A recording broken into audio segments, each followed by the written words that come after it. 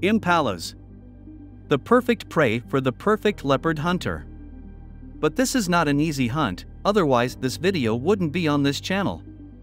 The cat needs to get into short range to make its attack with maximum speed and surprise.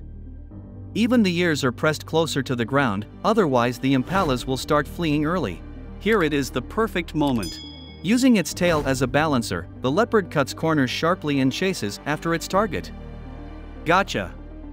Holding the antelope by the muzzle, the leopard restricts its air supply. But the spotted hyena has its own plans for the pair, the leopard can't disrupt them. The hyena has come to take what it couldn't chase, but will easily take away.